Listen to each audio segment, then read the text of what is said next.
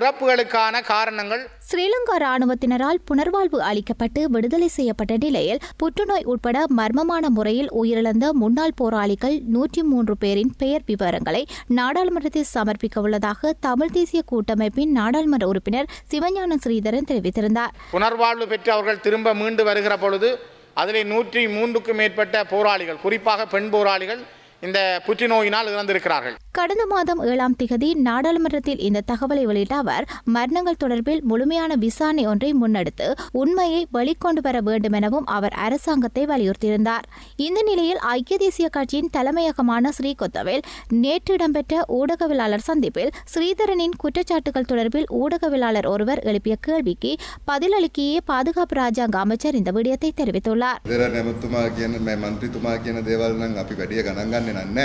நாடாளுமன்ற உறுப்பினர் ஸ்ரீதரன் போன்றவர்களின் கருத்துக்கள் தொடர்பில் நாங்கள் கணக்கெடுப்பது இல்லை. எனினும் புனர்வாழ்வு அளிக்கப்பட்ட முன்னாள் விடுதலை புலி உறுப்பினர்களுக்கு பலவந்தமாக புற்றுநோய் ஏற்படுத்தியதாக குற்றச்சாட்டு ஒன்று காணப்படுகின்றது.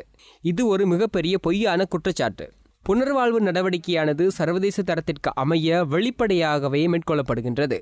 புலிகள் இயக்கத்திலிருந்து வெளியேறுபவர்களுக்கு என்ன நடக்கும் என்பது தொடர்பில் நாம் அனைவரும் அறிவோம். எனினும் அவ்வாறான நிலை எமது தரப்பில் நடக்கவில்லை. புனர்வாழ்வு அளிக்கப்பட்டவர்களுக்கு இராணுவ தரப்பில் எவ்விதமான பிரச்சனைகளும் இருக்கவில்லை. அது தொடர்பில் விடையளிக்க வேண்டிய தேவை கூட இல்லை. ஸ்ரீதரன் போன்றவர்கள் பேரினவாத சிந்தனையில் செயற்படுகின்றார்கள் என்றே நான் நினைக்கின்றேன். இரண்டாயிரத்தி ஒன்பதாம் ஆண்டு மே மாதம் பதினெட்டாம் திகதி முடிவுக்கு கொண்டு வரப்பட்ட போரின் இறுதிக்கட்டத்தில் விடு விடுதலை புலிகள் இயக்க போராளிகள் கைது செய்யப்பட்டும் சரணடைந்த நிலையிலும் தடுப்பு முகாம்களில் தடுத்து வைக்கப்பட்டிருந்தனர். அப்போதைய அரசாங்கத்தின் புள்ளி விவரங்களுக்கு அமைய பன்னெண்டாயிரம் விடுதலை புலி உறுப்பினர்கள் புனர்வாழ்வு அளிக்கப்பட்டு விடுதலை செய்யப்பட்டதாக தெரிவிக்கப்பட்டுள்ளமை குறிப்பிடத்தக்கது.